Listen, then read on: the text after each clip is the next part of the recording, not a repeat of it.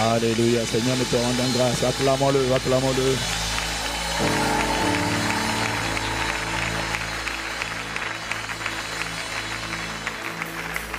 Father, we thank you for who you are. Thank you for what you have done. Nous te remercions. Nous te rendons.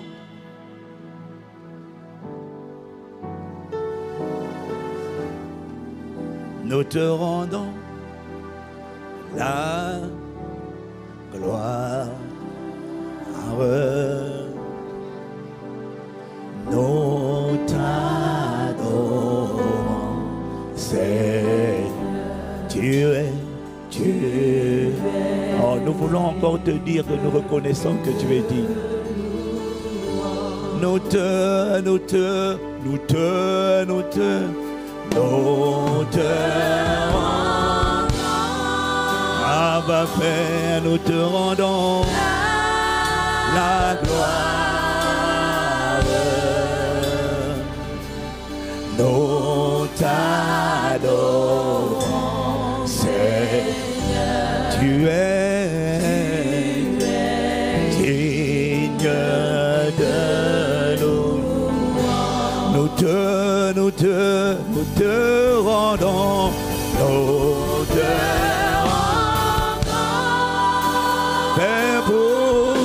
Amour, pour tes bienfaits, pour tes compassions. Nous t'adorons, Seigneur. Tu es très digne de louange à ma. Pour le souffle de vie, pour ce que tu as fait dans le semestre qui vient de passer, pour la manière dont tu nous as étirés, pour l'ado tu nous as pris en début d'année, pour le chemin parcouru, pour le dépôt déposé, pour les grâces téléchargées. Nous allons, Seigneur, tu es, tu es digne de louange. Nous te, nous te, nous te rendons, rendons. Abba Père, nous te rendons la gloire, la gloire.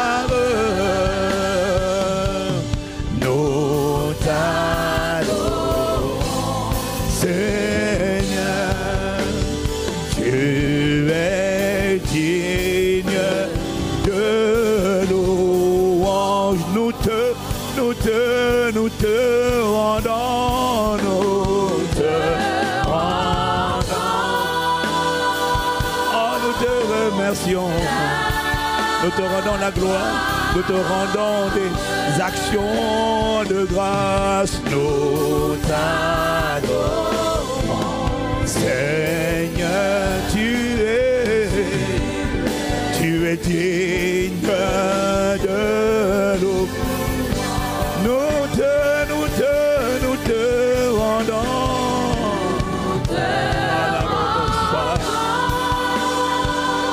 ce que tu as fait de moi, pour ce que tu as fait en moi, pour ce que tu as fait par moi, pour ce que tu as commencé avant, pour comment tu m'as étiré, pour comment tu m'as déployé, pour comment Seigneur, tu es en train de bâtir le vase que je suis. Nous te, nous te, nous te rendons pour ta main étendue sur ma maison, sur ma famille humaine, ma famille spirituelle, sur mon frère et ma soeur, pour ta main qui nous a gardés tout au long de ce premier semestre et pour la manière dont tu nous as fait finir le premier semestre, juste en apothéose avec toi. Oh ma Père, nous sommes reconnaissants pour ce que tu nous as permis de te rencontrer, là où tu nous as permis d'être visités. Nous te rendons, nous te rendons la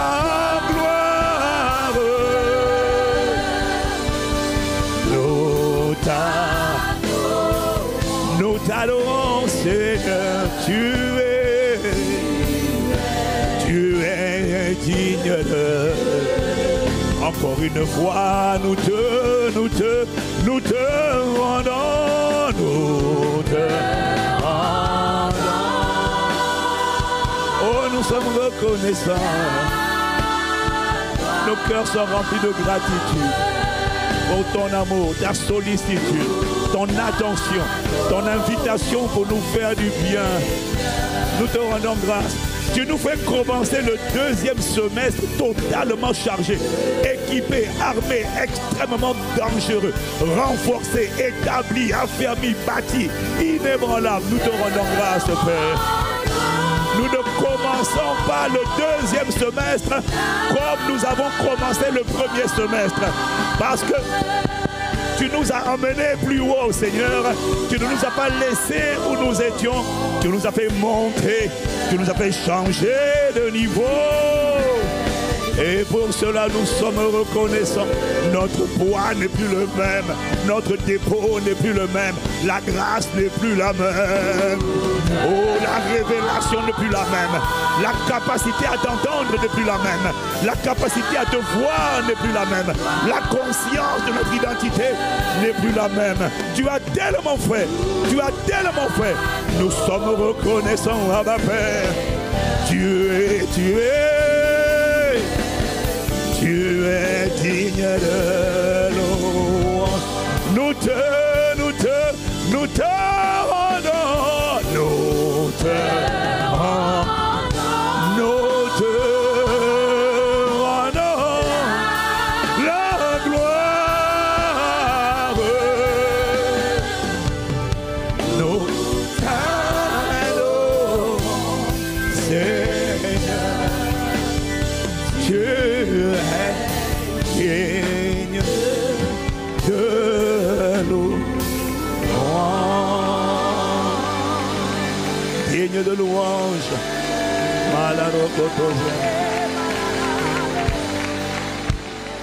Digne de louange. Digne de louange. Tu es digne de louange. Tu es, tu es, tu es digne de nous. Oh, tu es digne de nous. Tu es digne de nous. Abba Père, nous proclamons que tu es digne de nous. Digne de nous. Digne de nous. Mon esprit, mon âme et mon corps, ma destinée reconnaît que tu es digne de nous. Ma maison, mon héritage dit que tu es digne. ICC reconnaît que tu es digne de nous. La francophonie et les extrémités de la terre proclament que tu es digne de nous. Que tu es digne de nous. Que tu es digne de nous. En dehors de toi, personne d'autre n'est digne de nous. Parce que personne d'autre n'est Dieu comme toi. Digne de nous. Je déclare et je déclare que tu es digne de nous. Digne de nous. Digne de nous. We thank you, we bless you. Je reconnais que tu es digne de louange. Voilà pourquoi, même si mon voisin n'acclame pas, c'est pas grave. Il y a quelqu'un qui n'est pas amnésique. Il y a quelqu'un qui n'est pas trop fatigué pour te rendre gloire. Il y a quelqu'un qui n'est pas trop fatigué pour t'acclamer. Avec la voix qui me reste, je célébrerai ton nom dans l'assemblée des rachetés. Amen, amen, amen. Amen avec la voix qui me reste, je chanterai, proclamerai tes bontés, ta fidélité. C'est à cause de ton immense amour que je suis encore en vie pour proclamer ton nom, pour rendre la gloire et la louange à celui qui m'a racheté, à celui qui m'a délivré de la puissance et des ténèbres à celui qui m'a transporté dans le royaume du Fils de son amour. Amen, amen, amen. À Dieu le Père, à Dieu le Fils et au Saint-Esprit.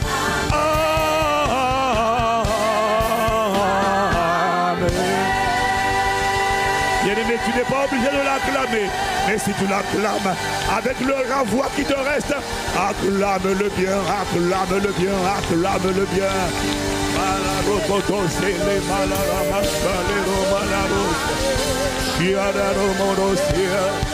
Oh, we thank you, we bless you, Lord.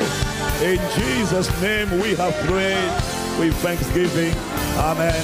Amen. Amen. Amen. Amen. Je n'ai pas entendu ton Amen. Alors je sais que vraiment, bon, moi, beaucoup plus que toi quand même. Hein. Si on concourt, celui qui a crié le plus, reconnaît que ce n'est pas toi.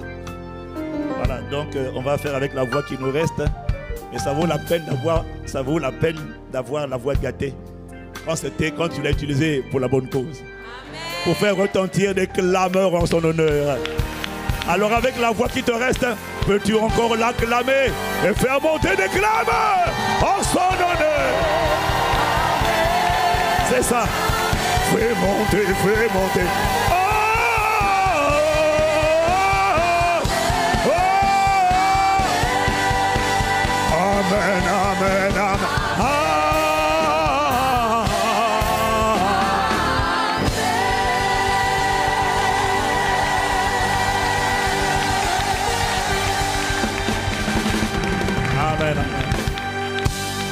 Nous te remercions encore pour ce moment. Tu nous assembles, tu nous rassembles en ton nom pour nous faire du bien. Alors construis-nous, fais-nous du bien en nous construisant par ta parole. Envoie ta parole, guéris les cœurs brisés, libère les prisonniers, délivre-nous de l'ignorance. Tu as dit que ton peuple est détruit parce qu'il lui manque la connaissance. Père, que ce ne soit plus jamais notre expérience au nom de Jésus. Construis-nous par la connaissance de la vérité qui a franchi au nom de Jésus-Christ. Père, par ton esprit, fais infiniment, abondamment, au-delà de ce que nous te demandons, nous pensons, par ta puissance qui agit en nous. Merci pour ce que tu fais en nous, par nous et de nous. Nous te rendons grâce parce que tu rends nos vies utiles. La destinée de chacun d'entre nous parlera. Le but sera atteint. Jésus sera révélé, glorifié dans notre époque et dans notre génération. La lumière brillera au sein des ténèbres. Merci parce que c'est l'œuvre que tu as commencé et tu la rendras parfaite à la louange et à la gloire de ton seul nom. À toi qui fais cette œuvre, qui a commencé en nous cette belle œuvre qui la rendra parfaite. Sur la louange, la gloire et l'honneur. Dans le nom de Jésus le Christ, nous t'avons ainsi prié avec action de grâce. Amen, amen. Amen, amen.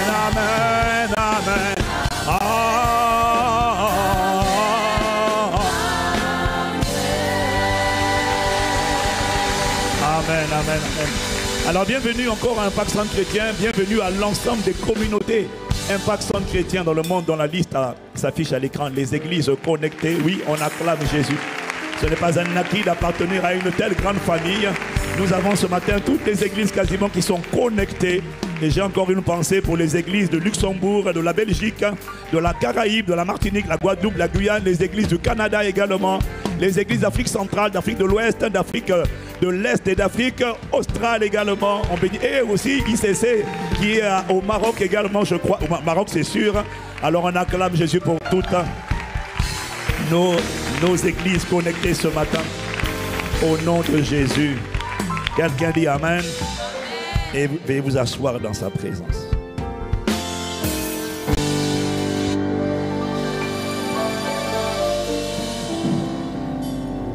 Alléluia. Quelqu'un dit gloire à Dieu. Est-ce que ça va? Je sais que le corps est un peu fatigué, mais ton esprit est en feu. Ton esprit est bouillant. Si quelqu'un te touche, il va avoir l'impression qu'on dirait qu'il est en train de toucher du béton. Tu lui dis c'est normal. C'est la, la, la, robustesse de mon homme intérieur. Non, je n'ai pas entendu ton amen. Hein. Voilà, dis encore gloire à Dieu.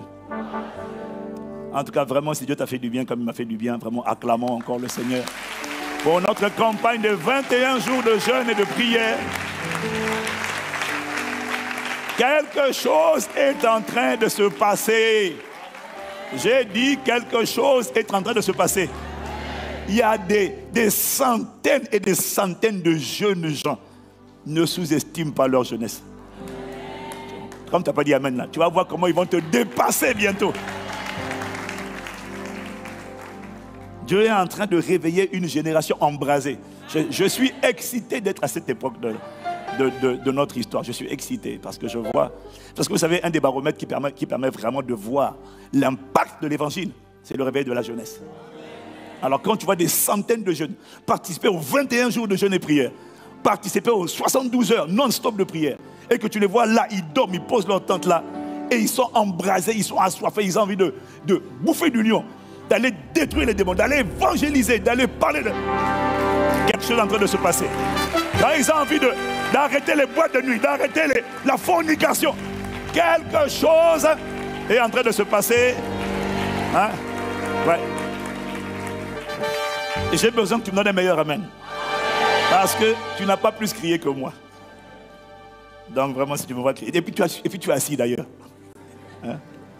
Donc par solidarité, donne un bon Amen comme la tonnerre. Alors ce matin, je vais continuer ce que je vous disais la semaine dernière. Euh, miséricorde, miséricorde. Alors ce matin, euh, la parole que le Seigneur a mis dans mon cœur, c'est de vous parler de... Euh, je vais continuer ce dont je vous ai parlé la semaine, la semaine dernière et même le vendredi avant-hier.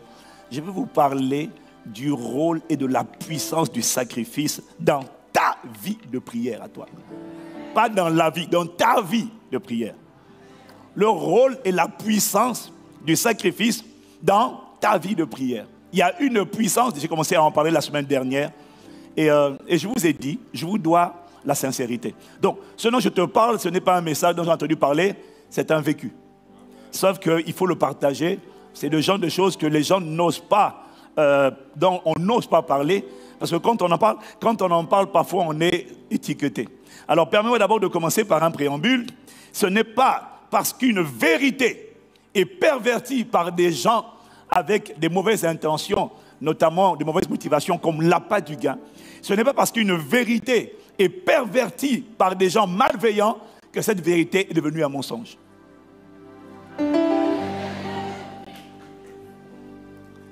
Ce n'est pas parce qu'une vérité est pervertie par des gens mal intentionnés que cette vérité est un mensonge.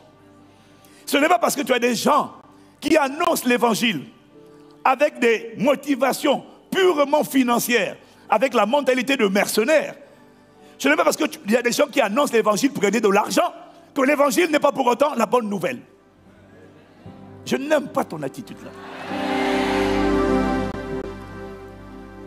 Parce que même s'il y en a qui pervertissent l'évangile, même s'il y en a qui, sont, qui, qui prêchent l'évangile avec des mauvaises intentions, des mauvaises dispositions de cœur, il n'empêche quand même que Paul dit, je n'ai pas honte de l'évangile, car elle est la puissance de Dieu pour le salut de quiconque croit.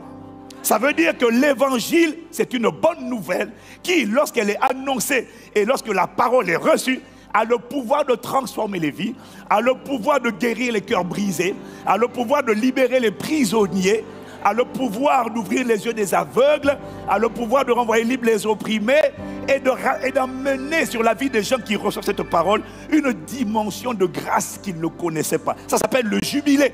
Il y a une puissance dans l'évangile. Donc, l'évangile n'est pas un mensonge parce qu'il y en a qui s'en servent pour mentir. L'évangile reste la bonne nouvelle. Ainsi en est-il de la vérité biblique concernant la notion de sacrifice. C'est parce que tu n'as pas étudié la culture juive. L'évangile, là, n'a pas commencé avec toi. Et je t'ai expliqué avant-hier que le livre de la Genèse, ce n'est pas il ne faut pas voir la Genèse comme étant l'Ancien Testament. Il faut voir le livre de la Genèse comme étant le livre du commencement. C'est le premier livre, le livre du démarrage, le livre du départ. C'est là que tout a commencé. Et je t'ai dit que toute vérité biblique, il n'y a rien qui existe dans le Nouveau Testament qui n'a pas commencé d'abord dans le livre de la Genèse. Dis encore Amen. C'est dans, dans, le livre du commencement.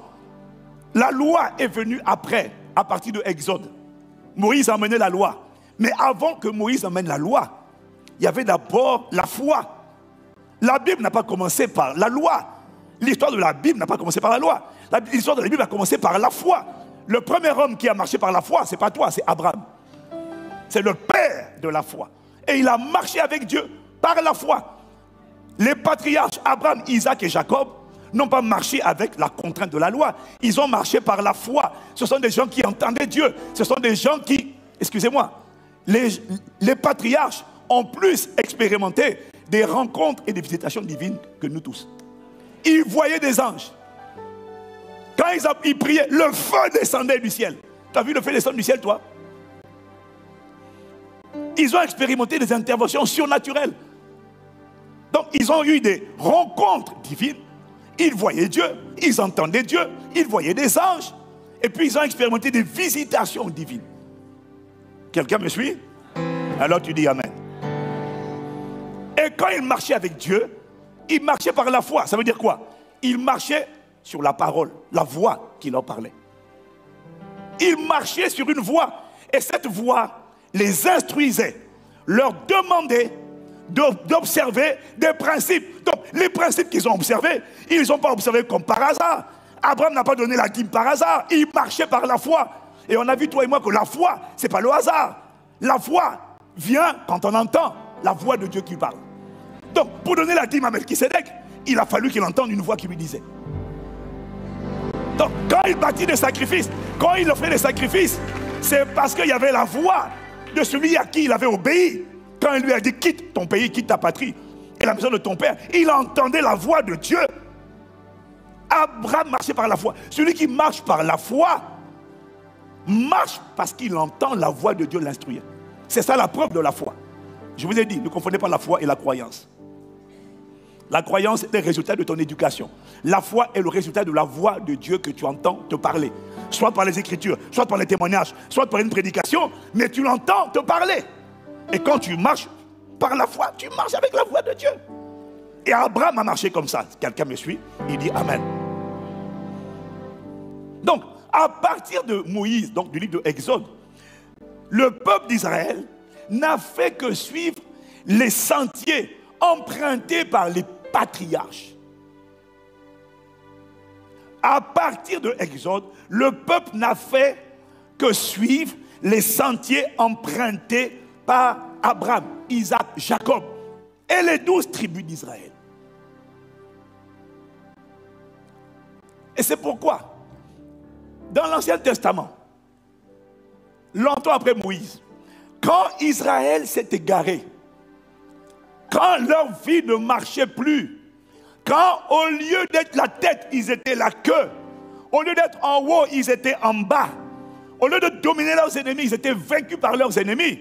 Lorsqu'ils ont commencé à chercher Dieu, Dieu leur a parlé par le prophète Isaïe. Isaïe. Et il leur a dit dans Isaïe 51, au verset 1 à 2. Écoutez-moi, vous qui poursuivez la justice, vous qui cherchez l'éternel. Tu entends? Écoutez-moi, vous qui cherchez Dieu. Parce qu'il y avait un peuple qui cherchait à comprendre, qui cherchait à connaître, qui cherchait à trouver Dieu. Alors qu'est-ce que Dieu leur dit? Vous qui cherchez l'éternel, portez les regards sur le rocher d'où vous avez été taillé. Sur le creux de la fosse d'où vous avez été tiré. Vous avez été tiré d'où? Regarde la suite. Portez les regards sur Abraham, votre père, et sur Sarah qui vous a enfanté. C'est lui seul, je l'ai appelé. Car, pardon, car lui seul, je l'ai appelé, je l'ai béni et je l'ai multiplié. Alors si vous cherchez Dieu, si vous cherchez Dieu, n'inventez pas de nouveaux sentiers. Portez les regards sur Abraham. C'est avec lui que j'ai commencé l'histoire. C'est pas avec toi, j'ai commencé avec lui. Prends ce qu'il fait. Regarde ce qu'il fait. Regarde comment il s'est comporté. Regarde comment il Sarah s'est comportée C'est ça que Dieu leur dit. Et lorsque tu portes les regards sur Abraham, sur les patriarches, tu réalises que ces gens-là avaient l'habitude de prier. Ils priaient comme toi tu pries. Ils adoraient Dieu comme toi tu adores Dieu. Ils obéissaient à Dieu comme désormais. Toi aussi tu obéis à Dieu. Mais en plus de faire tout ça, en plus de faire tout ça, tu ne fais rien de plus que ils offraient, ils offraient des sacrifices sur des autels. Ils érigeaient des autels et ils y bâtissaient des sacrifices. Si tu me suis, tu dis Amen. Genèse, exemple dans Genèse verset 12. Hein. Genèse 12 au verset 7. L'Éternel apparut à Abraham et dit, je donnerai ce pays à ta postérité. Et Abraham bâtit là un hôtel à l'Éternel qui lui était apparu. J'ai remarqué que chaque fois que Dieu leur apparaissait et leur donnait une promesse, une prophétie, les patriarches répondaient à la parole et à la prophétie, pas seulement avec Amen. Ils disaient Amen et puis ils apportaient un sacrifice. Ils bâtissaient un hôtel. Quand tu vois qu'ils ont bâti un hôtel, l'hôtel, c'est l'endroit sur lequel on amène toujours un sacrifice. Je n'ai pas entendu toi Amen. Et le sacrifice qu'ils apportaient, c'était un message qu'ils adressaient à Dieu. Est-ce que quelqu'un me suit? Lorsque les patriarches et Israël a pris la même culture, voulaient dire merci à Dieu. Ils ne disaient pas seulement merci avec les mots. Ils disaient merci, ils chantaient, mais ils apportaient également un sacrifice d'action de grâce. Est-ce que quelqu'un me suit? Ah oui. Quand, tu vois ça, ce n'était pas seulement, ils apportaient quelque chose pour dire merci. Ils, ils disaient merci avec les mots et ils disaient merci avec des actes. Lorsque le peuple d'Israël adorait Dieu, des gens comme David, et qu'ils avaient la volonté d'être tout entier à Dieu, d'appartenir à Dieu, de vivre pour son plaisir, ils le disaient avec des prières, mais ils le matérialisaient également avec des holocaustes. C'est ce que je t'ai expliqué avant-hier. Si tu me suis, tu dis Amen. Et je te dis, c'est quoi le mot holocauste? Le mot holocauste, ça veut dire entièrement consumé par le feu. Et ça dégage une odeur qui monte. Les holocaustes, ce sont des sacrifices qui étaient complètement embrasés. Et je t'ai dit que l'holocauste, c'était un message. C'était un message. On disait, Seigneur, je veux donc, je veux, je veux être tout entier à toi. Tu vois, je veux dire, je me livre totalement. Je me livre totalement. Je me livre totalement. Tu peux m'utiliser. Je me livre totalement. Toi, eux, ils le chantaient, ils le priaient. Mais après, ils le matérialisaient en offrant un holocauste. L'holocauste, c'était la récapitulative de la prière que je venais d'exprimer.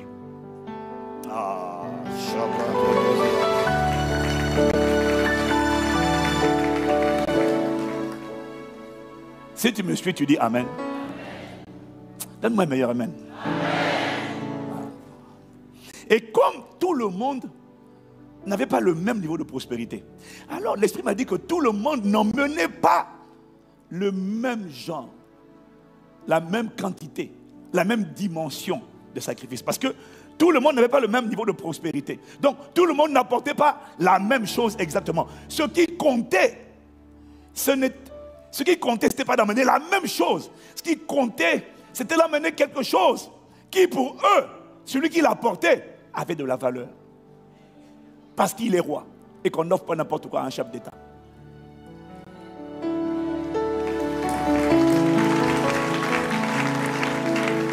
Quelqu'un me suit, dit Amen. Alors pourquoi ils sacrifiaient les animaux et les produits de la terre? Pourquoi on mettait les animaux et puis on les brûlait? Et je te l'ai dit vendredi. C'est parce que au temps biblique, là, au temps du commencement, les animaux, en fait, la richesse, le patrimoine des hommes était déterminé par les, terres qu'ils avaient, les, les récoltes qui sortaient de la terre qu'ils avaient, ainsi que par le bétail qu'ils possédaient. En fait, les terres, les récoltes et le bétail, c'était la richesse, le patrimoine des gens au temps biblique. Il n'y avait pas de lingots d'or, il n'y avait pas de devises, il n'y avait pas de billets. Quelqu'un me suit dit Amen. Donc c'est pour ça que c'est ça qu'ils apportaient. Mais le plus important, c'est qu'il fallait que ce qu'ils apportaient soit agréé par Dieu et reçoivent le sceau de l'approbation divine. Et ce n'était pas une question, on ne comparait pas les montants, tout le monde n'apportait pas la même chose. Mais ce qui était important, c'est que le feu agrée ce qui avait été apporté. Parce que quand le feu était relâché, c'était le signe que l'offrande avait été agréée. Et pour que le feu soit relâché sur le, le sacrifice, il fallait, je te l'ai dit encore le vendredi, il fallait que le sacrifice soit fait, Jésus nous dit, en esprit et en vérité. C'est-à-dire que quand les gens offraient un sacrifice à Dieu, ils l'offraient par la foi, avec humilité, et ils ne considéraient pas que Dieu me doit quelque chose parce que j'ai sacrifié ça. Maintenant, attention, si ça ne marche pas, Dieu, ce n'est pas ton marabout, ton féticheur, ton devin que tu consultes. Tu ne mets pas la pression sur Dieu. Tu te milies devant Dieu et tu t'attends à lui. Tu implores ses compassions, sa miséricorde, ses bontés. Tu ne t'appuies pas sur la base de ton mérite. Tu t'appuies sur la base de sa grâce. Mais tu lui implores de te faire grâce. Mais il engage ça avec un sacrifice. Donc, le sacrifice n'était pas une expression. Le sacrifice n'était pas une expression d'un devoir de Dieu vis-à-vis -vis de moi. C'était une expression d'humilité, de gratitude, de respect, d'amour en m'appuyant sur la miséricorde de Dieu, parce que Dieu reste souverain. Je n'ai pas entendu toi même. Ce qui comptait, c'était que le feu soit relâché. Alors hier, le feu était relâché sur les animaux. Mais ça, par contre, c'était une honte des choses à venir. Parce qu'aujourd'hui, on n'a plus besoin d'amener d'abord des sacrifices d'animaux. Parce que notre, euh, truc, ce n'est pas des animaux. Et puis aujourd'hui, si tu brûles les animaux, alors là, la ligue des écologistes et tout ça, là, oh là là, là, tu n'as pas là, mon ami, tu comprends? Ça, par contre, c'était une ombre des choses à venir. Et aujourd'hui, je te l'ai dit, il n'est plus question de construire des hôtels. Parce que l'hôtel, c'est Dieu qui l'a construit en toi lorsque le Saint-Esprit est venu habiter en toi. Tu es devenu l'hôtel. Tu es devenu l'hôtel. Maintenant, donc, à la croix, Dieu a bâti l'autel le plus puissant de l'univers lorsqu'il a sacrifié. Dieu a, a sacrifié son fils. Il a bâti l'autel le plus puissant de l'univers et il a pris cet autel-là. Il est venu l'ériger en toi et en moi lorsqu'il est venu habiter en moi. Parce que l'autel, c'est un point de contact entre le ciel et la terre, entre l'invisible et le, naturel et le spirituel. L'autel, c'est un point d'invocation des esprits. Lorsqu'un esprit habite quelque part, c'est là, ça devient un hôtel. L'esprit habite en moi, je suis l'hôtel. Bon, si jusque-là tu me suis, tu dis Amen. Et le feu dont il est question, ce n'est pas le feu physique, c'est le feu divin. Dieu est esprit. Donc son feu, c'est un feu spirituel. Mais tu sais, quand tu l'as expérimenté, il y a quelqu'un qui l'a expérimenté pendant ces 21 jours. C'est un feu qui vient t'embraser. Et quand il embrasse, il purifie ton cœur. Il purifie de l'envie du péché. Il te délivre de tout ce qui t'a attaché. Il consume ce qui te... Hmm. Il, il le redit, il le brûle. Il a déclenché, libéré un volcan de feu. Et tout sur tout ce qui n'était pas de lui. Le seul qui va sortir de là, qui va résister, c'est lui-même. Tout ce que Dieu n'a pas planté en toi périt par le feu. Donc, lorsque tu passes de la lourdeur à la vigueur, c'est parce que le feu t'a consumé. Lorsque tu passes de l'envie du péché à l'envie de la sainteté, c'est parce que tu as été embrasé à l'intérieur. Que ce feu t'embrase encore. Oh, donne Amen et acclame Jésus.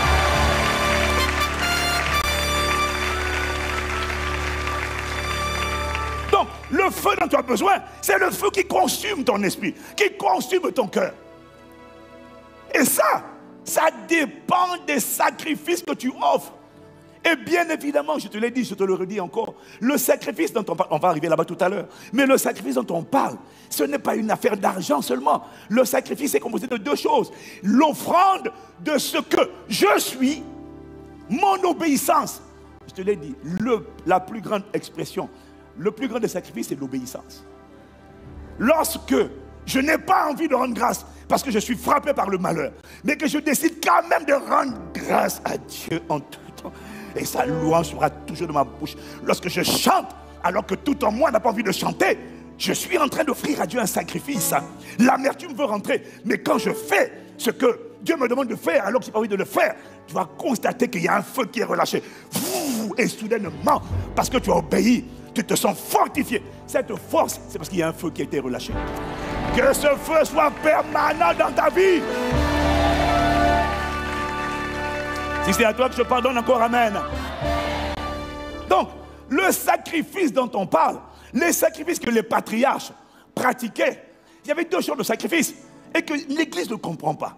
Il, il y a l'obéissance à Dieu. c'est l'offrande de ma vie. Romains 12, verset 1. Romains 12, verset 1. Vite, Romains 12, verset 1. Je vous exhorte par les compassions de Christ hein, à, à offrir vos corps comme un sacrifice vivant, saint et agréable à Dieu, ce qui sera de votre part un culte raisonnable. Donc, lorsque je m'offre à Dieu, c'est ce qu'on appelle l'obéissance.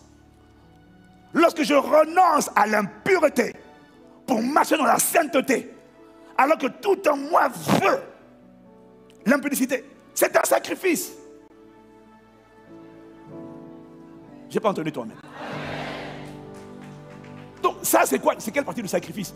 C'est la partie du sacrifice où on sacrifie ce que je suis. Sauf que nous, les chrétiens, on, on s'arrête là la plupart du temps. Mais les patriarches, ils avaient compris.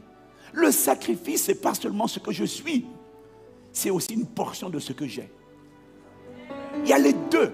Il y a ce que je suis et puis il y a ce que j'ai. Eux, nous, on s'arrête à ce que je suis. Seigneur, ça suffit. Je me livre totalement. J'ai abandonné le péché. Dieu dit c'est bon. Mais le problème, c'est que tu n'as pas compris que tu as aussi besoin d'offrir une portion de ce que tu as. Parce que c'est ça qui vient alimenter ton hôtel. L'hôtel que toi tu es a besoin de sacrifice pour être pour être en permanence en feu. Il faut le sacrifice. Le sacrifice de l'obéissance, ce que je suis, je l'offre à Dieu. Mais également le sacrifice de ce que j'ai. Je n'ai pas dit tout, mais une portion de ce que j'ai. Sachant que tout ce que j'ai est à lui déjà. Et quand bien même il me demanderait d'offrir tout, s'il me le dit, s'il me le dit, je dois tout offrir. Parce que ça lui appartient. Ta vie a changé.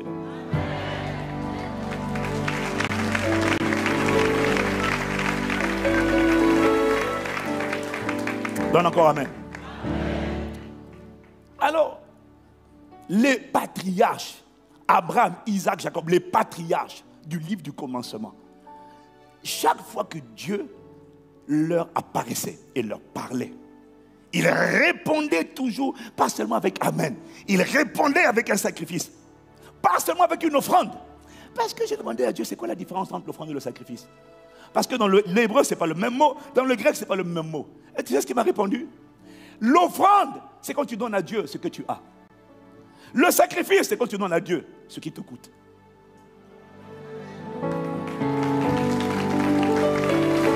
Quand ça ne te coûte rien, c'est une offrande. Quand ça ne te pince pas, c'est une offrande. Ce qui est terrible, c'est quand c'est une offrande et tu fais du bruit. Tu peux chanter, danser comme tu veux. Ce que tu cherches, ce n'est pas danser, chanter. Ce que tu cherches, c'est l'agrément de Dieu. Et Dieu relâche le feu quand il y a un sacrifice. Donc, il y a des offrandes qui sont des sacrifices parce qu'elles traduisent quelque chose qui est une marque de respect et qui te coûte. Et puis il y a des offrandes qui ne sont pas du tout des sacrifices.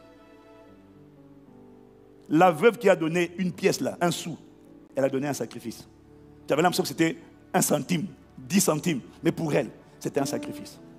Et pour beaucoup de riches, ce n'est pas un sacrifice. Parce qu'après, ils en ont plein. C'est pour ça que le sacrifice ne se mesure pas en valeur absolue.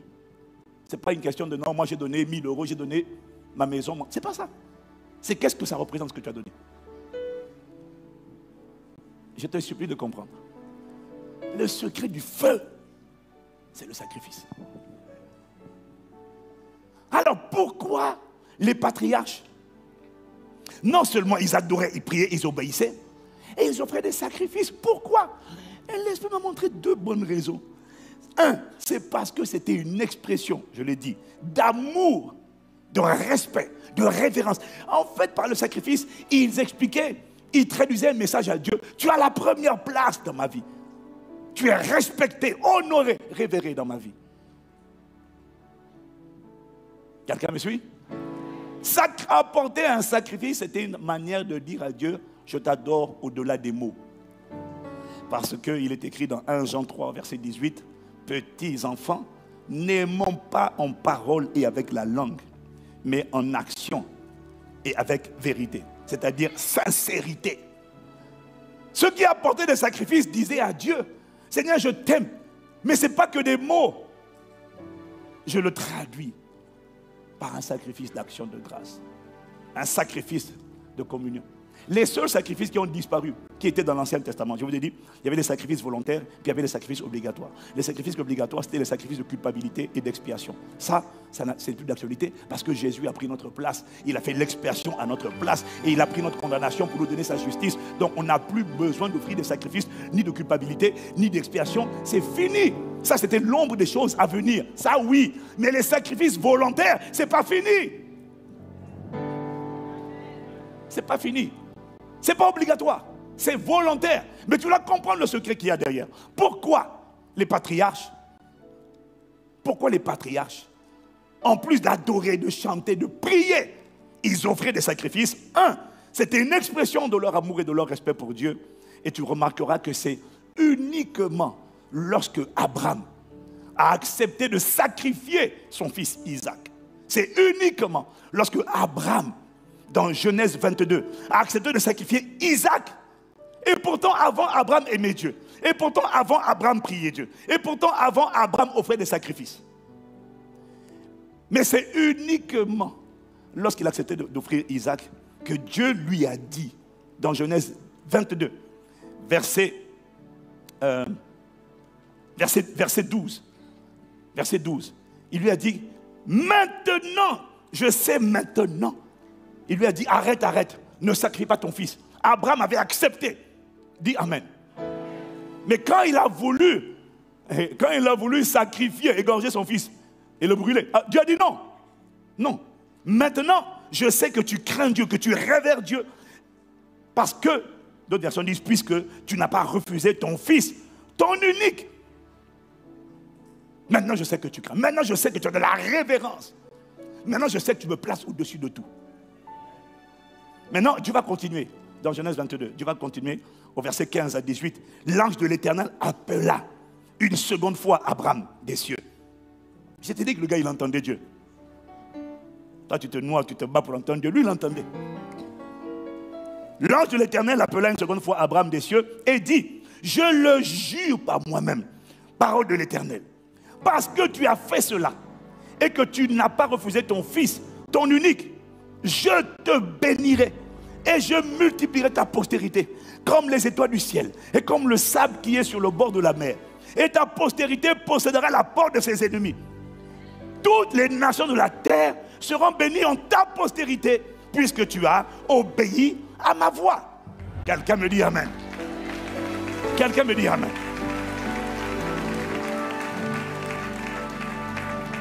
Mais alors, moi j'ai un problème avec ce texte j'ai un problème. Vous savez c'est quoi?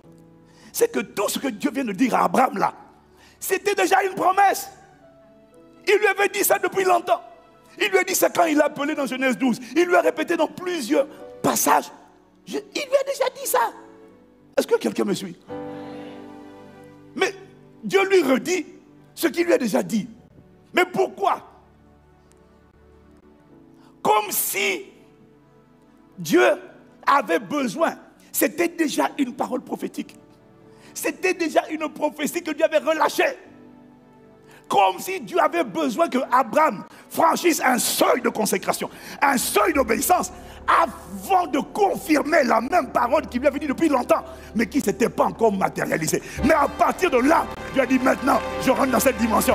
Maintenant, je vais confirmer cette parole. Aïe, aïe, aïe, aïe, aïe. Ah, quelqu'un me donne Amen. Dieu avait déjà dit. Mais là, il n'a pas, pas seulement dit, il l'a confirmé, il l'a scellé et il l'a établi. Dès que Abraham a franchi un autre palier, tu n'as aucune idée du nombre de paroles prophétiques que Dieu a données sur ta vie qui attendent de ta part un sacrifice pour être scellé et établi. Pour dire maintenant, je, je te fais rentrer dans la dimension de la parole. Mais tu n'as pas dit Amen comme le tonnerre. Encore Amen. Il a fallu que Abraham rentre dans cette dimension pour que Dieu confirme et engage et active la manifestation. Maintenant, Paul va, Paul va nous révéler quelque chose de bizarre. Parce qu'au verset 18, il a dit, toutes les nations de la terre seront bénies en ta postérité. Parce que tu as obéi à ma voix. Tu me suis, tu dis Amen. Maintenant, Paul va t'expliquer dans Galates 3, verset 16 Or, les promesses ont été faites à Abraham et à sa postérité. Dis Amen. Il n'est pas dit et aux postérités, comme s'il s'agissait de plusieurs, mais en tant qu'il s'agit d'une seule, et à ta postérité, c'est-à-dire à Christ. Donc, quand Dieu disait, toutes les nations de la terre seront bénies en ta postérité, il est en train de dire que toutes les nations de la terre seront bénies en Christ. Sauf que, avant que Dieu, qui avait avant la fondation du monde, comme projet, d'immoler l'agneau, est-ce que quelqu'un me suit? Il fallait que Dieu trouve quelqu'un qui a tel niveau de consécration, de sacrifice. Et Dieu trouve quelqu'un qui... Parce que Dieu est juste et équitable. Il fallait qu'il trouve un homme sur la terre qui est capable, qui soit capable d'offrir à Dieu en sacrifice tout ce qu'il a de plus cher, son fils et son unique, celui qui représente son passé, son présent et son futur. Son passé, parce qu'il a mis 25 ans à l'attendre. Son présent, parce que c'est celui qui fait toute la joie de son cœur. Son futur, parce que c'est en lui que se trouvent les promesses, la postérité. C'était lui. Et malgré tout ça, il fallait que Dieu trouve un homme qui est prêt à tout lui donner. Son fils, son unique qu'il aime tant. Afin de permettre à Dieu, lui aussi, d'emmener sur la terre son fils, son unique et. Ah, quelqu'un me dit Amen.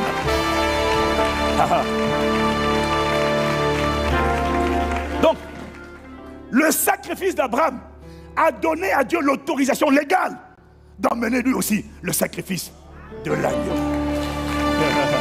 Oh, acclame Jésus, acclame Jésus, acclame Jésus. Si quelqu'un me suit, il dit Amen.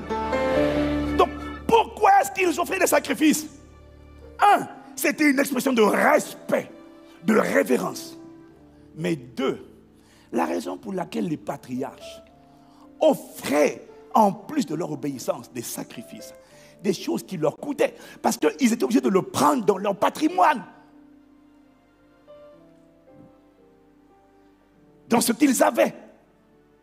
Quelqu'un me suit? Dieu m'a dit, l'Esprit m'a dit, ils offraient des sacrifices, et ça tu l'as déjà compris, pour renforcer la puissance de leur hôtel personnel, afin que les paroles que Dieu a relâchées sur leur vie ne soient pas contrecarrées, bloquées, empêchées par des hôtels sataniques qui parleraient plus fort que leur propre hôtel. Voilà pourquoi il fallait alimenter l'autel. Parce que l'alimentation de l'autel, c'est l'accumulation des sacrifices, accumule le feu et fait sortir la puissance de l'autel.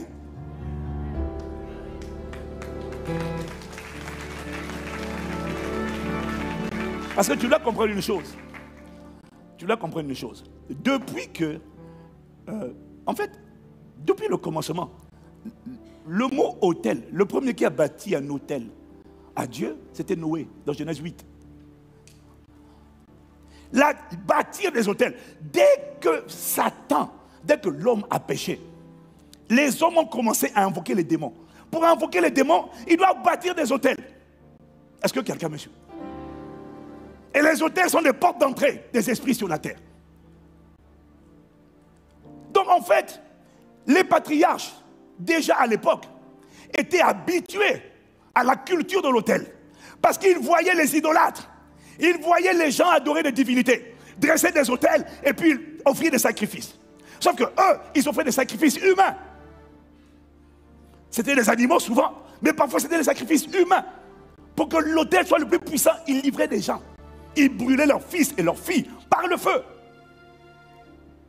Donc, c'était déjà une culture. Les Abraham, les Isaac, les Jacob savaient qu'il y avait une guerre spirituelle. Ils savaient que les autres nations érigeaient des hôtels.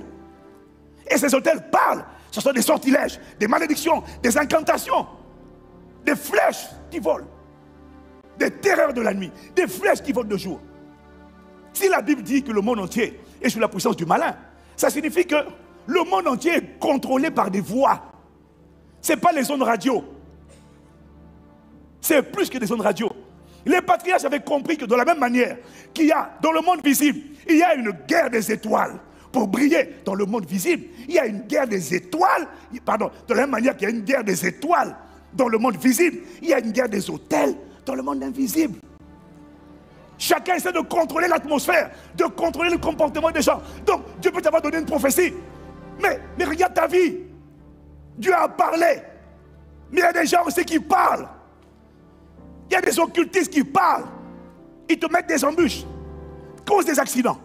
Tu vas au bureau, dès que tu es brillant, dès que tu es compétent, tu es talentueux, tu arrives au bureau, on te dit attention, pasteur, attention, n'ouvrez pas le bureau. Parce qu'ils ont jeté quelque chose que chez nous on appelle ça le moinza. Ils ont jeté un sort sur la porte.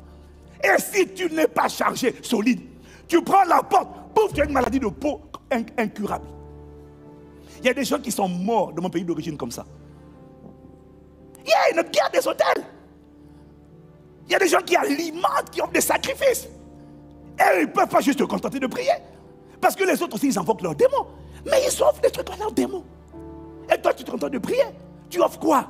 C'est pas pour Dieu que tu offres. Dieu ne mange pas ce que tu vas offrir. C'est pour renforcer la puissance de ton hôtel à toi. Afin de ne pas être désavantagé.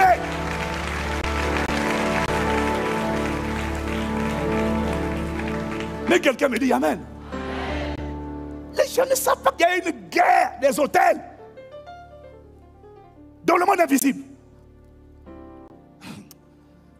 Tu as, des, tu as des gens qui bâtissent et qui appellent l'infortune, le malheur, la pauvreté, l'échec.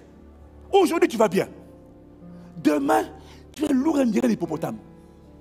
Tu crois que c'est le hasard? Le diable ne se repose pas. Les argents du, diable ne se reposent pas. En France, ce n'est pas en Afrique, c'est dans le monde. Le monde entier est sous la puissance du malin. Ça veut dire que le malin tient le monde par des hôtels. Tu appelles ça musée, c'est un hôtel. Tu appelles ça monument, c'est un hôtel. Tu appelles ça restaurant, c'est un hôtel. C'est un lieu de concentration, d'invocation. Les gens viennent là et puis ils invoquent. C'est un hôtel. Et toi, tu te balades partout comme ça là. Tu marches en plein. Et quand tu vas là-bas, il y a des voix qui parlent. Tu arrives là-bas. Mais est-ce que quelqu'un comprend de quoi on est en train de parler? Hein? Mais d'où vient le fait que. Mais il y a des hôtels qui contrôlent les pays. Tu as des présidents, il est bien, il est gentil, il veut développer son pays. Quand il arrive au pouvoir, il prend le pouvoir là, le siège du président là. Papa, papa, papa. Dès qu'il est assis dessus là, il fait exprès. Hein de penser qu'il n'avait pas commencé à venir. Il est électrocuté. Et les chrétiens passent son temps à critiquer. Ouais, il, nous a décidé, c'est pas un bon. Mais c'est. Il y a une guerre, il faut prier, il faut prier, il faut prier. Mais il faut aussi alimenter l'hôtel.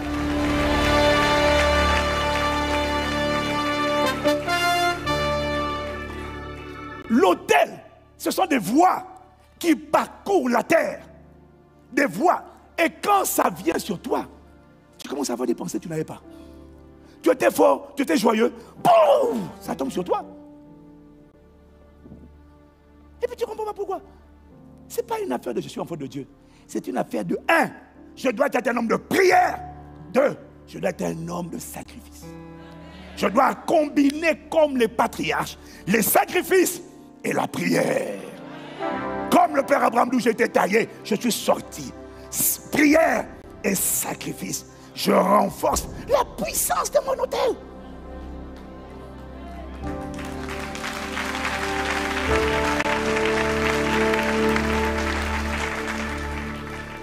Mais d'où viennent les gens qui commencent bien?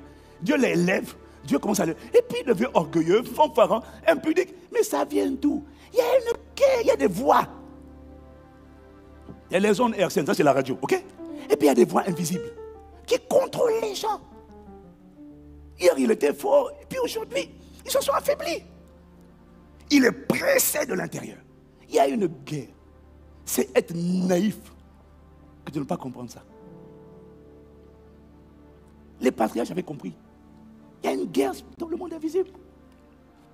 Alors pourquoi ils ont fait des sacrifices? C'était pour s'assurer que leur hôtel avec Dieu soit alimenté et déclenche et produise un feu permanent. Et l'intensité du feu dépend de l'intensité, de l'ampleur de tes sacrifices. Mais je ne parle pas que des finances. Je ne parle pas de ton patrimoine. Je parle de ce que tu es, que tu offres à Dieu, et de ce que tu as, que tu offres à Dieu. C'est ça la clé qui déclenche un feu puissant.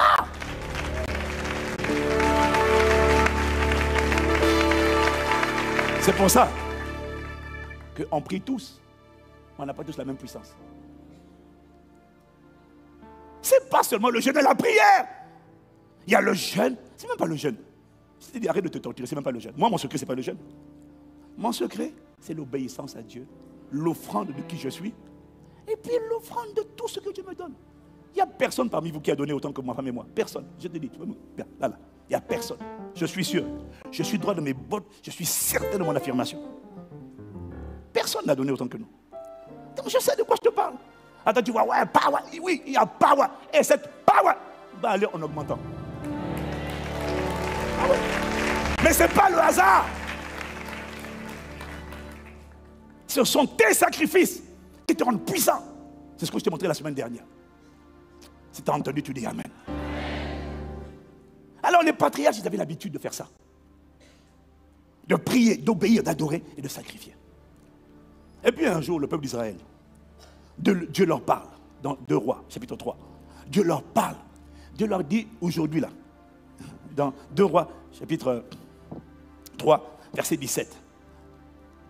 Dieu leur parle. Les patriarches, les pères, quand Dieu leur parlait, ils répondaient à la parole prophétique par un sacrifice.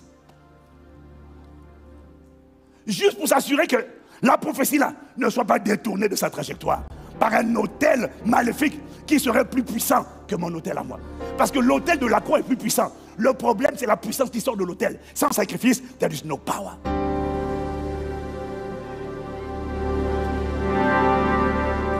Alors, Israël avait cette attitude-là, normalement. Et là, quand tu vas dans 2 Rois chapitre 3, tu vois le peuple d'Israël, Dieu leur a parlé. Verset, verset 17. Ainsi parle l'Éternel. Ça veut dire Dieu a parlé. Vous n'apercevrez point de vent et vous ne verrez point de pluie. Et cette vallée se remplira d'eau et vous boirez, vous, vos troupeaux et votre bétail. Mais, comme ce n'est peu de choses au jeu de l'Éternel, il livrera Moab entre vos mains vous frapperez toutes les villes fortes et toutes les villes d'élite. Vous abattrez tous les bons arbres. Vous boucherez toutes les sources d'eau. Et vous ruinerez avec des pierres tous les meilleurs champs. Dieu a prophétisé, prophétisé, prophétisé. Ils ont dit Amen, Amen, Amen, Amen, Amen. Mais, au lieu de faire comme les patriarches, quand Dieu a parlé, au lieu de faire comme Isaac, comme Abraham, quand Dieu a parlé, d'aller dire Seigneur, j'engage un sacrifice d'action de grâce pour connecter à cette parole, pour m'assurer qu'elle ne soit pas déviée. Et ils sont allés, Amen, et puis ils ont couru au champ de bataille. Comme quelqu'un à côté de toi. Alors, verset 24, tu lis la suite, la suite de l'histoire. Mais Israël se leva et frappa Moab, qui prit la fuite devant eux. Ils pénétrèrent dans le pays et ils frappèrent Moab. Donc, ils sont en train d'accomplir la prophétie. Il dit Amen. Ah, je n'ai pas entendu ton Amen. Verset 25. Ils renversèrent les villes. Ils jetèrent chacun des pierres dans tous les meilleurs champs et les, en remplirent. Ils bouchèrent toutes les sources d'eau et ils abattirent tous les bons arbres et les frondeurs enveloppèrent et bâtirent Kir C'est Oh, miséricorde dont on ne laissa que les pierres. La prophétie est en train de s'accomplir. Ils sont en train d'aller dans la manifestation de leur destinée. Ils sont en train d'accomplir ce que Dieu avait annoncé. Verset 26. Le roi de Moab voyant qu'il avait le dessous dans le combat, prit avec lui 700 hommes tirant l'épée pour se frayer un passage jusqu'au roi d'Édom. Mais ils ne le purent pas. Il prit alors son fils premier-né, qui devait régner à sa face, à sa place, et l'offrit en holocauste sur la muraille. Et une grande indignation s'empara d'Israël, qui s'éloigna roi de Moab et retourna dans le pays. ils ont bien commencé. La parole a commencé à s'accomplir. Et qu'est-ce que le gars a fait, le roi de Moab? Il a pris son fils qui devait régner à sa place. On ne peut pas offrir plus fort que son premier-né. L'héritier sur le trône. C'est-à-dire que le gars, il a donné comme Abraham, son fils, son premier. principe spirituel. Quand il a fait ça, quand il a fait ça, dans le monde invisible, la divinité à qui il a sacrifié son premier-né, ce qu'il avait de plus cher, il y a un feu satanique qui a été allumé et qui a repoussé Israël. Et la Bible dit, une grande indignation s'empara d'Israël. Les gars n'ont pas compris. Leur zèle a été désactivé. Leur joie a été désactivée. Leur ferveur a été coupée. Comment? Quelque chose est venu contre eux. Ils sont retournés. Quelque chose a soufflé sur eux. Ils ont fait des mythos. Ils n'ont pas été jusqu'à la fin de la prophétie. Tu sais, réfléchis. Alors il y a des vérités, tu vas ah, il veut pas de sacrifice. Tais-toi Tu ne sais pas de quoi tu vas. Up C'est pour ça que tu n'as aucune puissance. Les démons te baladent. L'amertume, la peur, tout ça, ça te... Des douleurs. Ah Il est temps.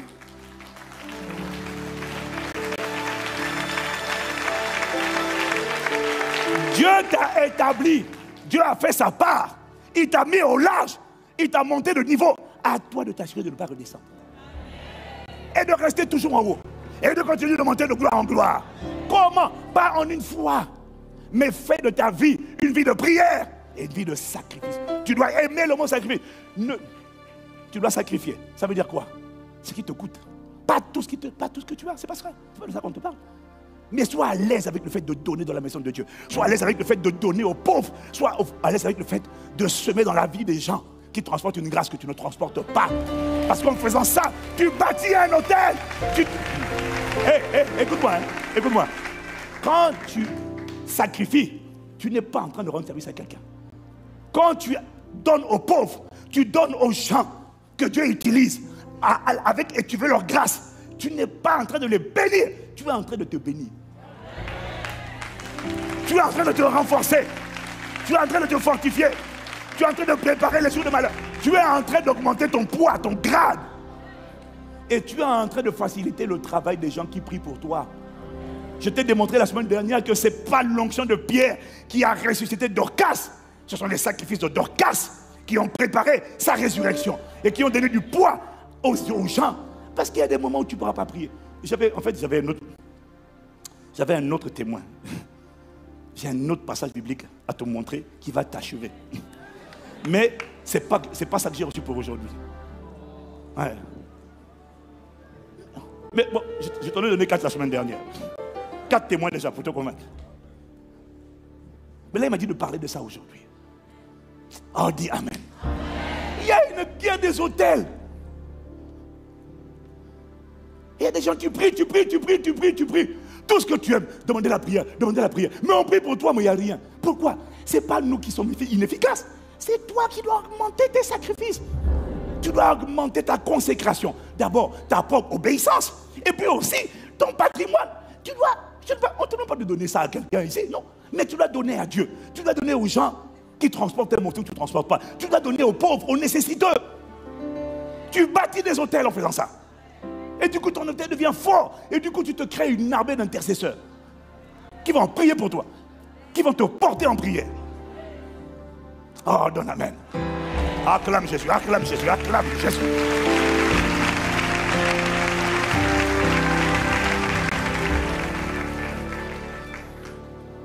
Dieu vient de te faire passer à une autre dimension. Débrouille-toi pour rester à cette dimension. Ce n'est pas une question de prix. Chacun selon sa prospérité. C'est une question de coût. Qu'est-ce que ça te représente? Moi, je t'ai dit, j'étais parti pour donner l'offrande de Salomon. J'ai dit, Dieu m'a dit, en bon, pourtant mon offrande, mon, hôtel est puissant déjà. Ma femme et moi, là, c'est fort. Mais j'ai dit, non, Seigneur, je veux monter. Parce que j'ai découvert qu'il y, a une dimension. Et puis je vois ce que Dieu fait à travers le vase que je suis. Et j'ai décidé, Seigneur, allons plus loin. Plus loin en prière, mais plus loin aussi en power. Donc j'ai dit, je multiplie par 50. C'est un sacrifice pour moi. J'ai dit, c'est bon ça va faire mal et je ne sais pas comment je vais faire pour le reste. Dieu, je sais que tu es le. Tu n'es le débiteur de personne. Je sais que ce qu'un homme aura semé, le moissonnera. Je sais. Je sais.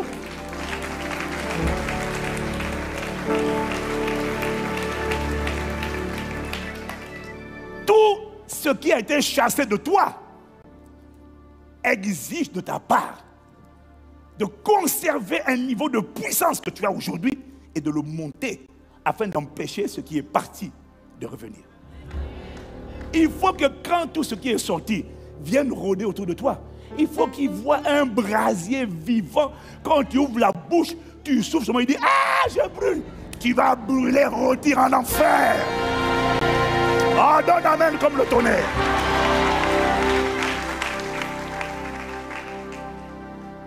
Il y a des mots que tu dois aimer parce que Dieu les aime. Vous savez, je partageais, ce message, je partageais cette révélation avec un de mes amis pasteurs. Et puis quand je lui parlais de ça, je lui parlais de ce que Dieu m'a fait comprendre. Je pratiquais, mais il y a une révélation que je n'avais pas. Et puis quand je lui ai partagé ça, il m'a dit, oh, mais c'est fort. Je lui ai montré que ce sont les sacrifices de Dorcas qui ont donné à Pierre la capacité de la ressusciter. Puisque, on a vu qu'il n'y a pas eu de résurrection avant, Pierre n'a resté aucun mort en dehors de Dorcas. Donc je t'ai dit que ce n'est pas le secret, ce n'était pas Pierre, c'est Dorcas. Son sacrifice a parlé. Et quand je lui ai raconté ça, il me dit non, Bishop, c'est trop fort. Maintenant, je viens de comprendre. Et puis il m'explique qu'il y a, il y a quelques temps, quelques années en arrière, il y a une sœur dont le mari était gravement malade. Et les médecins disaient que son pronostic, en fait, il n'avait aucune chance de survie. Et je ne sais pas comment elle a su. Poussée par l'esprit, cette sœur, elle a raclé ses tiroirs. Elle a trouvé tout ce qu'elle a pu trouver. Elle a cherché mon ami, pasteur. Elle est partie faire un vœu. Elle a dit, je dépose cette offrande sacrificielle. C'est l'expression de ce qui me coûte. Je ne dirais pas le montant, mais c'était pas un petit montant. Et puis il me dit, mais maintenant que tu me dis ça, je ne te cache pas que je n'ai pas compris ce qui s'est passé. Parce que moi, j'ai fait une prière. Quand elle m'a raconté l'histoire, j'ai dit, ah, bon, en tout cas. Et puis j'ai fait une prière simple. Hein. Vraiment, Seigneur, nous implorons ta miséricorde, ta compassion. Je n'ai pas dit, au nom de Jésus-Christ, ah là baba. Il n'a pas dit ça. Il dit, Seigneur, vraiment, nous implorons ta miséricorde, ta grâce. Il dit, moi-même, ma prière était une prière basique. Mais la manière dont le diagnostic a tourné, dont la santé de ce frère a été complètement restaurée, il m'a dit, même moi, je n'ai pas compris. Alors il m'a dit, c'est son hôtel qui a parlé. Oh,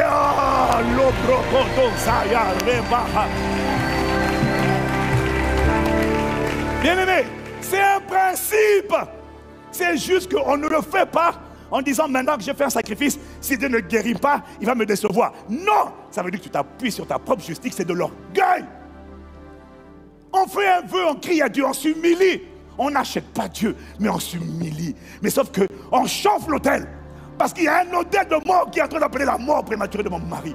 J'engage mon sacrifice afin que l'esprit de vie prévale sur mon mari. Et il m'a dit, il m'a dit, c'est maintenant que je vais de comprendre la révélation. Et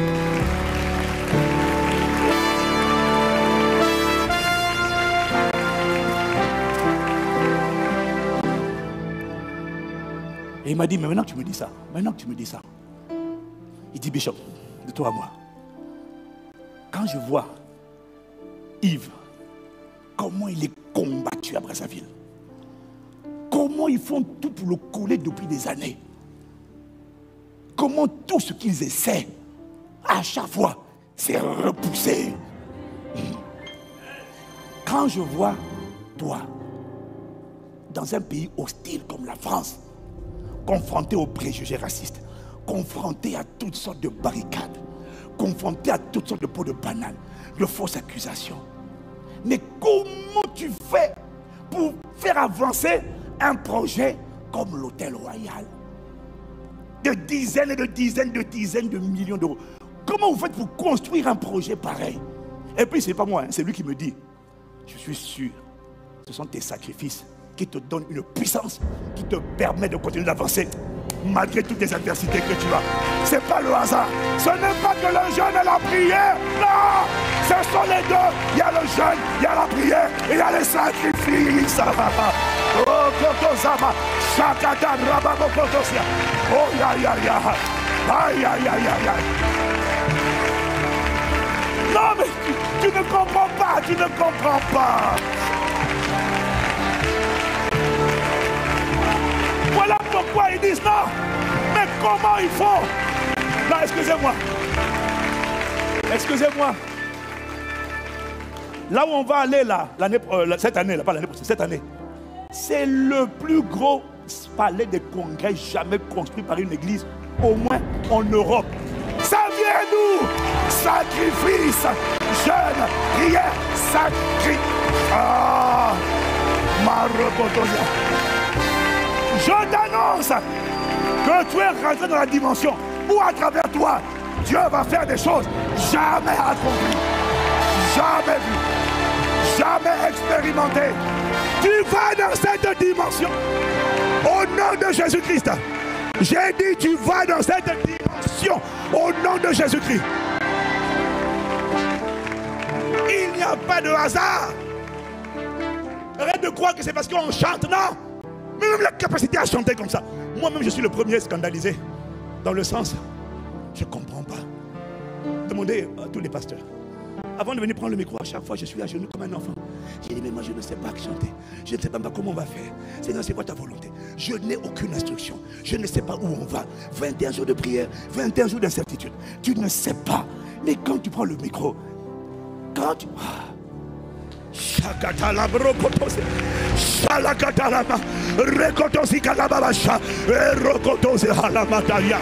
ce n'est pas toi, mon frère. Il y a une puissance qui sort de l'hôtel de cet homme.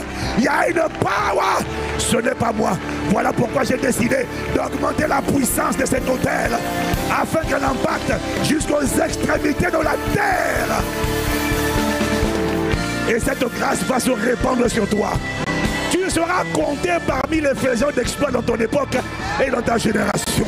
Parce que le manteau est transmissible, la grâce est transférable, le manteau est transférable, la puissance est transférable. Il y a quelqu'un qui a changé de dimension et qui ne retournera pas là où il était hier.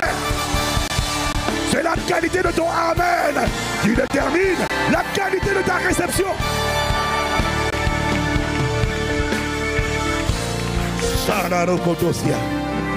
Seigneur, accorde-nous la grâce de comprendre, d'aimer la vérité, de ne pas nous laisser tromper par des faux raisonnements. Ce genre de message sera toujours critiqué. Ouais, encore ça. Tu n'as rien compris. C'est pour ça que tu te feras molester par des petits démons, des esprits de mort, d'infirmité, des esprits qui vont te molester. Il y a quelqu'un ici qui ne sera plus jamais molesté. Parce qu'il accepte cette parole et il marche dans la dimension de la prière et du sacrifice. Si c'est à toi que je parle, donne un meilleur amen de vibrant comme le tonnerre.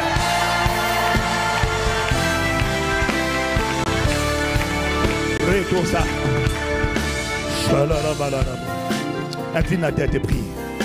Prie. Dis au Seigneur de faire asseoir cette révélation en toi. De faire asseoir cette révélation en toi.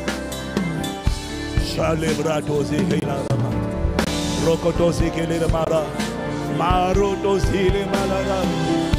Shada bara baratosi la bara. Shada Sheda bararobodos. Libra shake pela baratos. Lembro kotosi le ma. Shada bararo. Shada bararo. Shada baro tadi le ma. Leto zeke palarama shebra ilaro. Oh, élève la voix, élève la voix, élève la voix. Élève la voix. Rado malatedi. Ne maradoro ma shereme.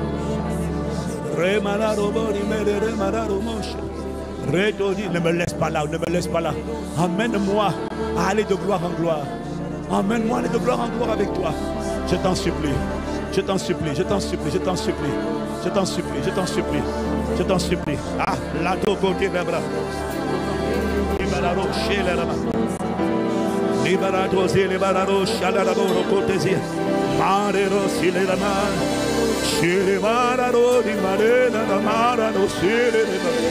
Oh, ne me laisse pas, fais-moi monter, fais-moi monter plus haut. De gloire en gloire, à ma Père, de gloire. Emmène-moi, emmène-moi, ne me laisse pas là où je suis. Merci pour ce que tu as fait, mais emmène-moi à un autre niveau de puissance.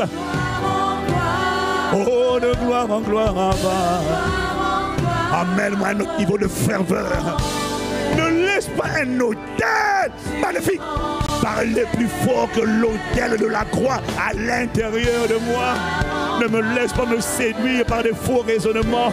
Accorde-moi la grâce de m'appuyer, de, prendre appui sur le rocher. Nous avons été taillés, Père Abraham. Accorde-moi la grâce d'associer une vie de prière et une vie d'obéissance. L'offrande de moi, de tout mon être, mon esprit, mon âme, mon corps, ma volonté, mes sentiments, mes pensées, tout entier à toi. Mais également mon patrimoine engagé sur l'autel de la croix, l'autel de la rédemption. Oh, je t'en supplie, emmène-moi à ne pas rester là où je suis, mais à aller de gloire en gloire dans les hauteurs et les profondeurs de ta puissance de ton intimité.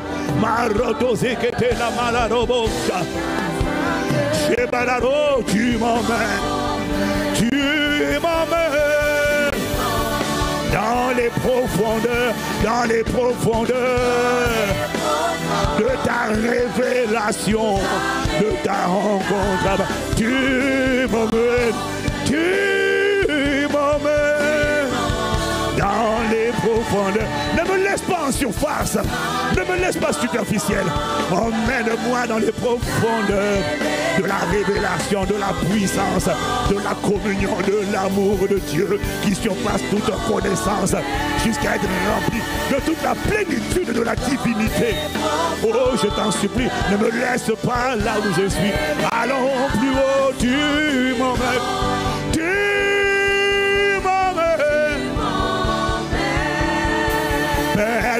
En gloire.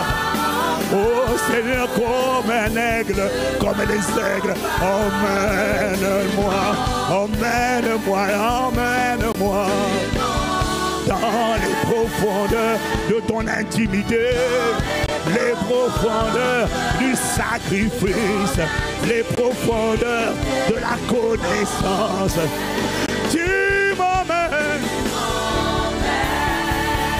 Plus haut, plus haut, plus haut, plus haut, plus haut, plus haut. Emmène-moi plus haut. Maroto si les malades, chalerosa.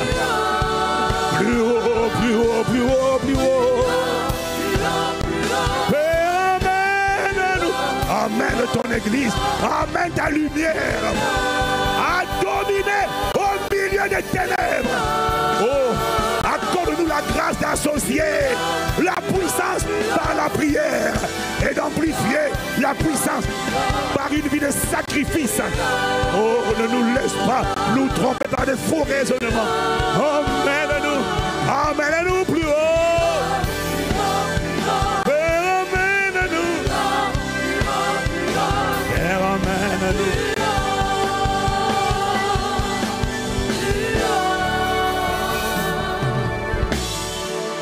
de gloire en gloire,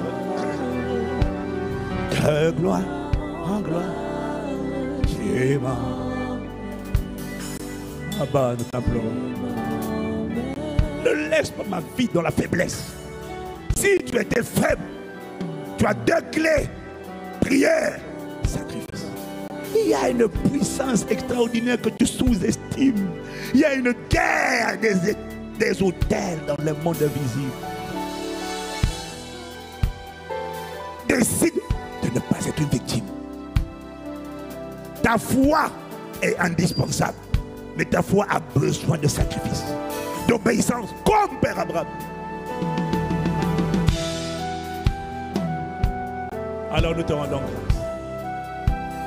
En appliquant ces principes, tu nous accordes la grâce de tuer le hasard, de ne plus subir, de te donner les rênes afin d'enfanter les desseins divins que tu avais prévu de manifester en chacun d'entre nous dans notre époque et dans notre génération. Père, ces desseins s'accompliront. Parce qu'il y a un peuple qui a compris et qui a décidé d'engager l'obéissance totale à ta parole. Au nom de Jésus, le Christ, nous te rendons grâce. Nos vies ont changé et nous ne retournerons pas en arrière. Dans le nom de Jésus le Christ, Nous t'avons ainsi prié avec action de grâce. Amen. Amen. Amen.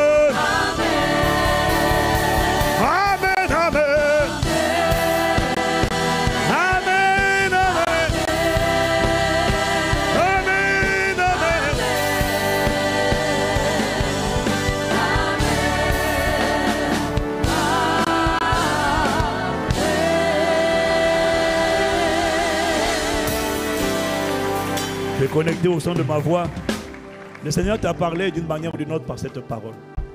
Mais tu n'as pas encore fait la paix avec Dieu. Soit tu ne le connais pas, soit tu l'as connu et tu t'es éloigné de lui. Aujourd'hui, il prend, saisit la main de Dieu.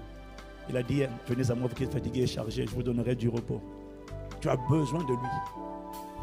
Tu décides ce matin, si tu décides de revenir à lui, alors incline la tête avec moi et fais cette prière simple. Fais cette prière de tout ton cœur. Ce qui compte, c'est ton cœur et sa sincérité. Dis avec moi, Seigneur Jésus. J'ai entendu ta parole. Ne me laisse pas là où je suis. Viens dans ma vie. Ramène-moi à toi. Restaure-moi. Récupère-moi. Lave-moi par ton sang. Et fais de moi la personne que tu as prévu que je sois. Réécris mon histoire. Accomplis ma destinée pour ta seule gloire. Au nom de Jésus. Je déclare, je suis désormais enfant de Dieu. Au nom de Jésus. Amen. Si tu as fait cette prière avec un cœur sincère, envoie le mot salut au numéro qui s'affiche à l'écran. Et si tu es en présentiel, ne regarde ni à gauche ni à droite. Prends tes affaires. Viens vite devant parce que nous voulons t'accueillir, te recommander à la grâce de Dieu et te faire recevoir par nos conseillers. Si tu es concerné, ne regarde ni à gauche ni à droite. La Bible dit qu'il y a de la joie dans le ciel pour un seul pécheur qui se repent. Si c'est toi, le ciel sera de la joie ce matin à cause de toi. Le Père sera de la joie à cause de toi. Alors si tu es connecté, nous prions, Père, au nom de Jésus. Nous te recommandons cet homme, cette femme qui a dit oui de tout son cœur et qui a décidé de revenir à la maison comme l'enfant prodigue. Nous prions que ta main qui est sur nous soit sur cet homme, soit sur cette femme. Maintenant, réécris son histoire et fais de lui, fais d'elle, Seigneur, un disciple affermi de Jésus qui accomplira sa destinée au nom de Jésus. Le Christ Père, nous t'avons ainsi prié avec action de grâce. Quelqu'un dit Amen. Oui, ils, arrivent, ils arrivent, ils arrivent. Merci Seigneur. Il y a de la joie dans le ciel. Vous êtes bienvenus. Alors, bien-aimés, un jour, moi aussi, nous tous, on a fait cette prière une fois avec un cœur sincère. On a ouvert notre cœur, on a dit à Jésus de venir et notre vie a commencé à être transformée. Ça sera également votre expérience. Alors, je vais juste vous demander une chose. Nous avons des conseillers qui sont là pour vous accueillir. On veut faire avec vous ce qu'on a fait avec nous. On nous a pris par la main et puis on nous a tenus. Et on va vous amener dans un programme de formation dont la soeur a parlé tout à l'heure dans le témoignage. Je vous assure, ce programme-là, comme vous savez, trois mois après, c'est fini. Votre vie, vous deviendrez un des plus gros sujets de dépression de l'enfer. Je vous assure. Amen. Amen. Donc je vous demande de bien vouloir suivre nos conseillers qui sont là. En tout cas, bienvenue dans le royaume de Dieu. Bienvenue, tapez-moi là, tapez-moi là, tapez-moi là. Yo mon frère, yo, yo, yo, yo, yo, yo, yo, yo, yo, yo. Tapez-moi là, tapez-moi là, tapez-moi là. Est-ce que tu es en train de faire du bruit? Tu n'es pas en train d'acclamer, tu n'es pas en train d'acclamer. Faites retentir des clameurs en son honneur. Amen, amen, amen. Amen, amen, amen, amen. Amen, amen, amen, amen.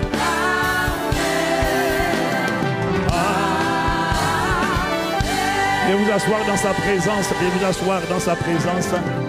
Le temps est très avancé, alors s'il vous plaît, nous avons la très bonne habitude à Impact Centre Chrétien de souhaiter la bienvenue à ceux qui sont là pour la première fois. Si c'est votre première fois à Impact Centre Chrétien, nous vous invitons à vous tenir debout parce que nous voulons vous accueillir comme on aime le faire. If it's your first time in ICC, please stand on your feet so we can welcome you and bless God for your life. Non, non, non. Alors ce matin quand même, nous avons euh, la surprise, euh, moi je ne m'y attendais pas, donc de recevoir au premier, au premier culte l'ancien président de la République du Bénin, le président Yahi Boni.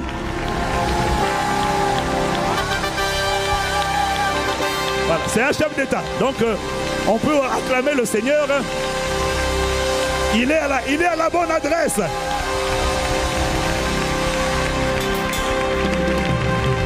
Amen.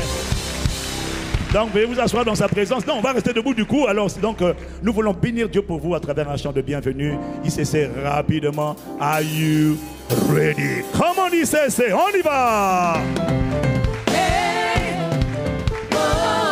Je veux te voir acclamer, acclamer demain et bénir Dieu pour nos invités. Où ça? Il n'a pas bien entendu. Redis-le-leur. Bienvenue. Où ça? Un, deux, trois, on y va. Oh, ICC, fais mieux, fais mieux, fais mieux. On ne t'entend pas. Bénis-les. Ah, ah. Nous te consacrons nos frères et sœurs venus dans ta maison. Bénis-les. Bénis, bénis. Bénis, bénis. Bénis, bénis. Abondamment. Bénis, bénis. Devant, derrière. À gauche, à droite. Comment dit c'est Ton église ici assemblée. Bénis-nous. Pour élever et célébrer. Oh, ICC, ce premier culte, je ne t'entends pas bien. Oh, comment Assemblée est-ce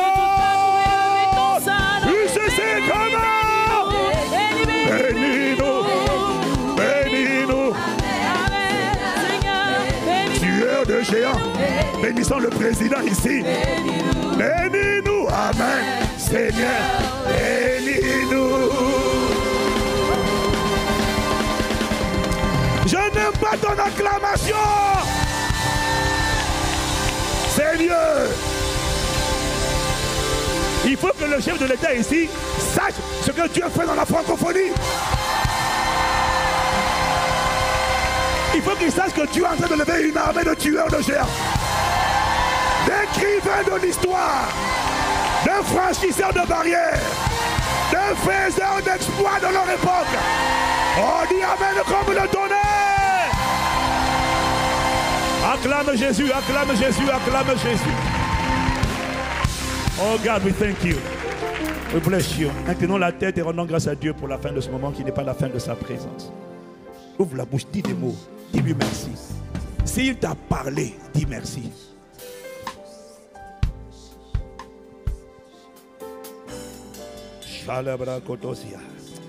Father, we thank you, we bless you. Nous te remercions. Aucune offrande, Seigneur, ne peut égaler l'immensité du dépôt de ta présence et de ta parole relâchée par ton esprit.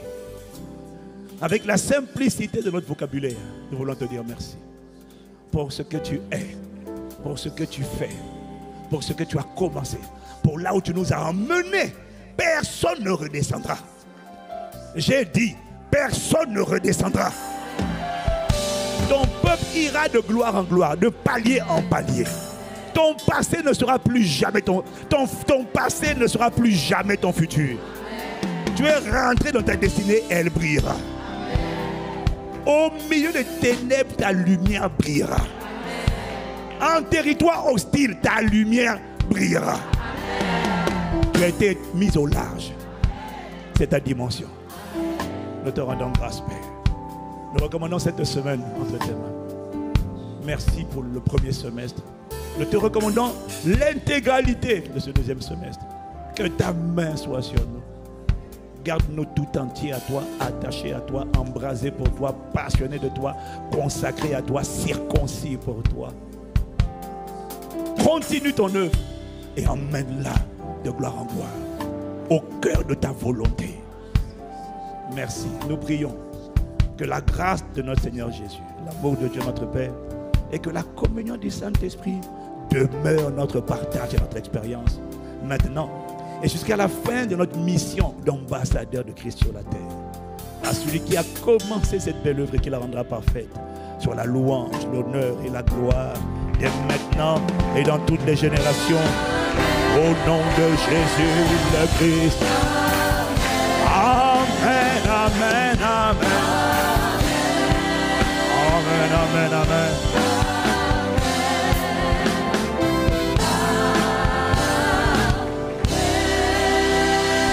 Amen. Bien-aimés, nous vous souhaitons une excellente semaine dans sa présence. Que Dieu vous bénisse. Bon Dieu béni vous. May God richly bless you. Dieu te bendiga. Pate del Signore. God segne. Rabena ibarka. Nzambe apambola bino. Mungu akubari. Shandi jofu. Amen. Excellente semaine dans sa présence. Ah oui, s'il vous plaît, ceux qui sont là pour la première fois, les nouveaux qui êtes là pour la première fois, nous avons une collation qui vous est réservée. Alors, veuillez laisser passer les nouveaux, s'il vous plaît. Euh, Laissez-les passer avec leur drapeau. Vous êtes attendus devant, sur ma gauche, donc à votre droite, par notre équipe de conseillers. Excellente semaine dans sa présence. Saluons-nous les uns et les autres. Dans le respect des gestes barrières, j'allais dire, mais bon. Excellente semaine à vous.